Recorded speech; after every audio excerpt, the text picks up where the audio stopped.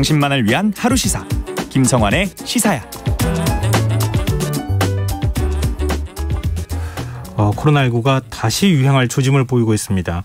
감염 재생산 지수가 2주째 2를 넘었고 중증화율과 치명률도 상승세를 보이고 있는데요. 재유행에 대한 우려가 커지고 있는 상황 어떻게 대비하면 좋을지 이재갑 한림대 강남 성심병원 감염내과 교수 연결해서 얘기 나눠보도록 하겠습니다. 교수님 안녕하십니까? 아, 예, 안녕하세요. 네, 지금 뭐 제가 말씀드렸지만 어, 감염 재생산 지수 그리고 중증화율, 치명률 이게 지금 다 수치가 높아지고 있거든요. 이런 추세 어떻게 네. 보고 계십니까?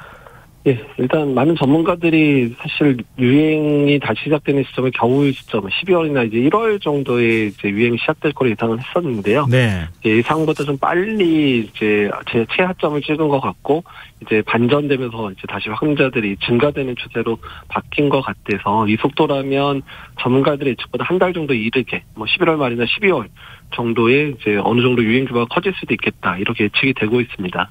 지금 유행이 시작됐다 이렇게 평가해도 되는 겁니까? 예, 일단은 뭐 최하점을 찍고 다시 유행이 반전의 곡선을 타고 올라가서 이제 시작이 된 거라고 보시는 게 맞을 것 같습니다. 지금 이제 확진자 수가 3만 명을 넘어서서 오늘도 3만 5,924명으로 확인이 됐는데요.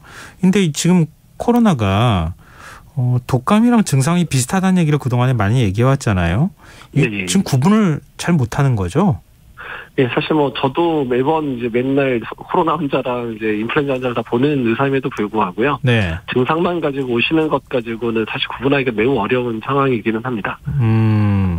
지금 근데 그러면은 어, 직접 이제 환자들을 대하시는 입장이잖아요. 네. 이런 경우에 그러면 어떻게 판단합니까? 그럼 검사 일단 받고 오세요. 이렇게 되는 겁니까? 네, 그 일단은 이제 뭐 저희 병원이야 이제 대학병원이니까 인플루엔자 검사나 코로나 검사가 동시에 진행이 가능하니까 예. 이제 현장에서 동시에 검사를 다 진행하는 경우들도 있고 아니면 일단 코로나인 경우는 법적 경리가 필요하니까 코로나 검사를 먼저 하고 음성이면 인플루엔자 검사를 한다든지 그래서 동시에 하든지 순차적으로 하든지 이제 그런 형태로 진행을 하고 있기는 합니다. 일선 의원들 입장에서도 상당히 고민스러울 것 같거든요.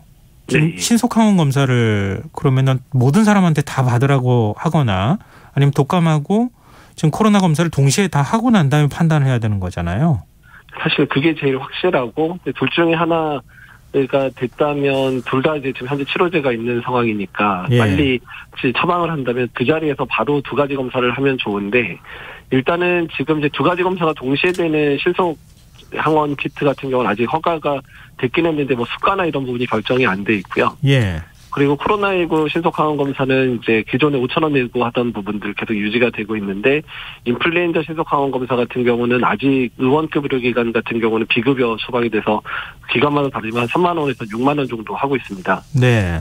그러니까 이제 두 가지 검사를 다 하려면 이제 한 3만 원 음. 넘게 뭐 3, 4만 원 이상을 내야 되다 보니까 네. 환자분들이 이제 코로나 검사만 하고 음성이면 그냥 뭐 인- 인플루엔자 검사 하실래요? 그러면 그냥 감기약 주고 갈래요? 이제 이런 식의 상황이 여러 번 벌어지고 있는 상황이거든요.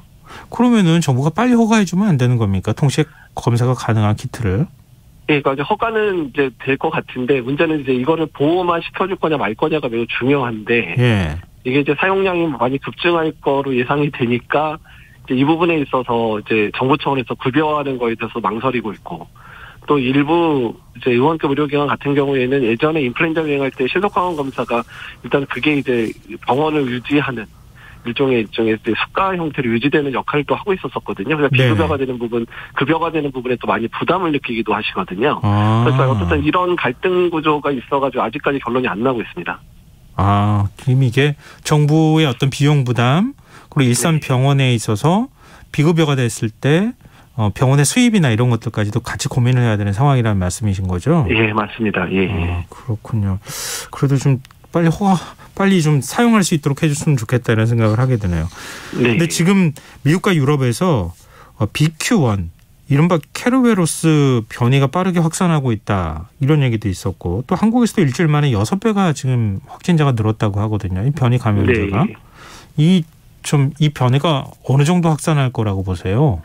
어, 일단 BQ1은 BA5의 하위 변이 중에 하나기는 하고요. 예, 일단 전파력 부분이 좀 증가된 것 같다. 또한 변이로서 이제 면역 회피도 BA5에 대한 부분에 대해 조금 회피하는 것 같다 정도로 알려져 있는 거고 예. 중증도나 이런 부분 은 아직 알려져 있지는 않습니다. 근데 아마 이제 많은 분들이 비교하기를 우리가 오리지널 오미크론 있죠. BA1에서 7, 8월 유행 때 BA4, 5로 바뀌었잖아요. 예. 아마 그 정도의 변화 수준 정도의 유행을 하게 되지 않을까 정도로 예측을 하고 있어서 아마도 이번에 유행을 하게 되면 BQ1이든 뭐 BF7이든 지금 유행하고 있는 변종 중에 하나가 유행을 하면 지난 여름 유행과 비슷하거나 조금 작은 유행이 되지 않을까 정도로 예측을 하고 있습니다.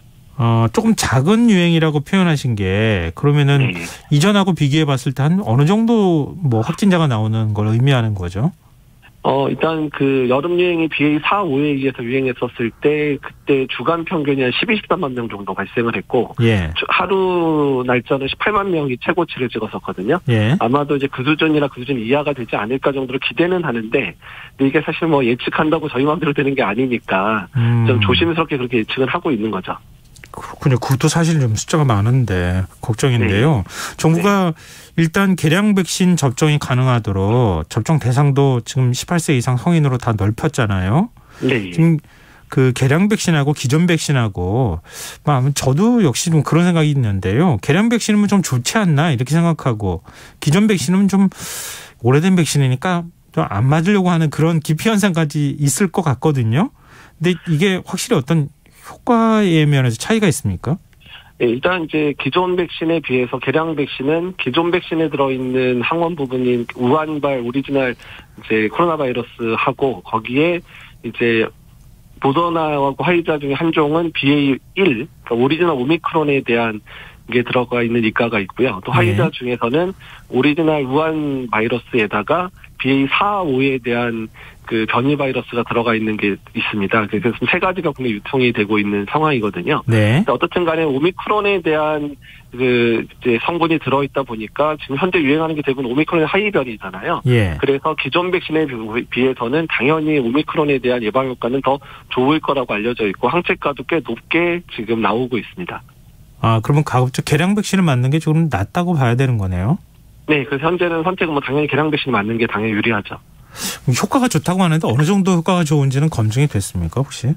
어, 일단은 이제, 이제 개량 백신 같은 경우는 이제 뭐 그 감염 예방 효과라든지 이런 거를까지 연구를 하지는 않고요. 예. 안전한지 그 항체가 잘 생기는지에 대한 연구만 지금 된 상황이거든요. 네네. 근데 어쨌든 기존보다 항생제 항체는 이제 모더나 백신 연구를 보더라도 기존 항체보다 1.56배 정도 오미크론의 항체가 잘 생긴다고 돼 있기 때문에 네. 일단 예방 효과는 더 나을 거라고 예측을 하고 있는 겁니다. 근데 이제 우리가 저 기존에 감염이 한 번 됐던 분들도 한 인구의 절반 정도는 한 번 된 거잖아요. 네, 그렇죠. 그리고 두 번 감염된 분들도 있고 네. 또 나는 두 번이나 감염이 됐는데 굳이 백신 맞을 필요 있나 이렇게 생각하시는 분들도 있을 것 같고 한 번 감염된 분들도 그랬을 것 같거든요. 근데 그런 분들도 접종을 받아야 됩니까? 그러니까 일단 이제 걸렸 고 난 다음에 시간이 많이 지나면 예. 그러니까 백신을 맞- 맞고 나서도 시간이 많이 지나면 예방 효과 많이 떨어진다고 말씀드렸잖아요. 예. 근데 걸려서도 이제 시간이 많이 지나게 되면 예방 효과가 많이 떨어지고요. 특히 고위험군들 같은 경우는 그 시간이 지나면 지날수록 중증 위험도 높아지거든요. 예. 그렇기 때문에 어느 정도 기간 이상, 적어도 4개월 이상이 지났거나 그 이상이 된 경우에는 이번에 추가 접종을 해주셔야 면역이 다시 회복되고 그래서 감염 예방 효과, 특히 고위험군에 대해서는 중증 예방 효과도 회복된다 이렇게 생각하셔야 됩니다. 근데 지금 4차 백신을 맞게 되는 거잖아요. 지금까지 백신 접종이 계속 이루어졌다고 가정하면 네. 근데 한 3차 정도까지 맞아도 되지 않겠나? 4차까지 굳이 맞을 필요가 있나? 이렇게 생각하시는 분들도 있을 것 같은데요. 그러니까 사실 이번에는 저 4차 접종이신 분들도 있고요. 5차 접종이신 분들도 사실 있습니다. 4차 접종 맞고 4개월 지나면 맞을 수 있기 때문에. 어. 그래서 이제 횟수를 무시하고 마지막 백신 접종 또는 마지막에 감염된 거 이후로 4개월이 지나면 또 맞을 수 있게 이제 통일을 시켰거든요. 예. 일단은 네 번, 다섯 번을 맞더라도 어느 정도의 시간이 지나면 특히 고위험군 같은 경우는 접종 후에 한 뭐 4개월 또는 6개월 이상 지나가면 중증 예방 효과도 감소가 됩니다. 그래서 음. 사망의 위험성이 올라가는 측면들도 있고요. 네. 사실 우리 한 가지 더 추가로 말씀드리면 우리나라 지난번 9월에 발표된 이제 전국 항체 검사 결과를 보면 네. 80대 이상에서 감염된 비율이 30%밖에 안 되고요. 예. 70대 이상은 40%밖에 안 되거든요. 음. 그러니까 거의 6, 70%의 70대 이상의 고위험군이 백신 접종한 거로 지금까지 버텼는데 네. 3차 접종하신 분은 거의 1년이 지났고요. 4차 접종하신 분들도 일찍 맞으신 분은 벌써 4, 5개월 이상 지났거든요. 예, 예. 그러면 그분들이 감염되면 이번에 이제 추가 접종 안 하고 동계 접종 안 하고 감염이 되면 중증 위험이 꽤 올라갈 수 있기 때문에 네. 특히 고위험군에서 이번에 맞는 동계 접종을 꼭 접종하는 게 매우 중요합니다. 정부에서는 일단 50대 이상은 권고, 맞기를 권고한다 이렇게 밝혔거든요. 네, 그러니까 그게 그것하고 관련이 돼 있는 겁니까? 그러니까 네. 뭐 예를 들면 60대 이상은 이전에는 뭐 워낙 확진자가 많이 나고 그랬을 때였기는 하, 겠지만 다 의무적으로 접종하시는 게 좋습니다. 이렇게 얘기했고 그 네. 이외에는 좀 권고한다 이렇게 얘기했는데 50대 이상을 특별히 권고한다 이렇게 표현한 게 앞서 말씀하신 거와 관련이 돼 있는 겁니까? 네, 맞습니다. 지금 이제 50대 이상의 감염 비율이 40대 이하보다는 적기 때문에 네. 그리고 백신 맞은 지 시간이 지난 분들이 많기 때문에 이번 겨울에 추가 접종 없이 이제 다시 맞게 돼서 유행을 맞게 되면 중증 환자 비율이 상당히 올라갈 가능성이 높아서 이번 어. 접종률을 올리는 게 매우 중요합니다. 그렇군요. 그러면은 일단 기저질환이 있거나 50대 이상인 분들은 가급적 맞으시는 게 좋겠다. 이게 그 이런 권고를 하는 게 맞다 이렇게 보시는 네, 거군요. 맞습니다. 예. 네, 알겠습니다.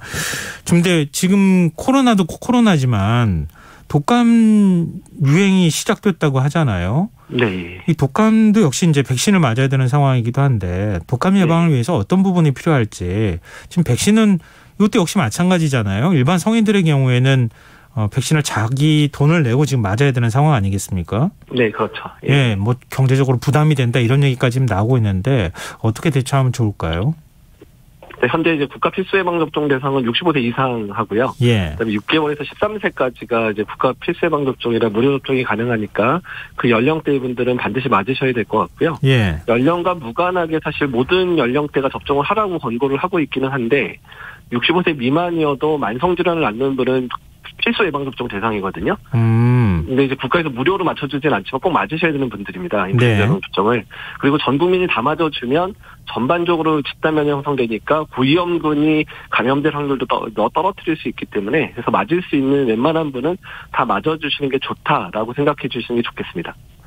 그 지금 코로나 백신 맞을 때 독감 백신 같이 맞아도 되는 거죠? 아, 예, 동시에 같이 맞으셔도 됩니다. 어, 그리고 지금 만약에 한꺼번에 감염되는 경우 생길 수 있잖아요. 이럴 네. 경우에는 훨씬 더 더 위중증으로 갈 확률이 높습니까? 일단 지금까지 사실 독감 유행을 잘 안 하다 보니까 네. 동시 감염 사례가 많지는 않은데 일부 보고에 따르면 좀 더 중증으로 가는 것 같다는 보고는 있습니다. 근데 어쨌든 동시 감염되게 되면 훨씬 더 고생할 수 있고 치료제나 이런 것도 두 개를 다 써야 되고 이런 문제가 생기니까 아, 그러니까 일단은 최소화해야 되니까 어쨌든 예방 접종을 잘 하시면 어쨌든 둘 다 예방이 가능한 거니까 두 가지 다 예방 접종을 꼭 해주시는 게 좋겠다는 거죠.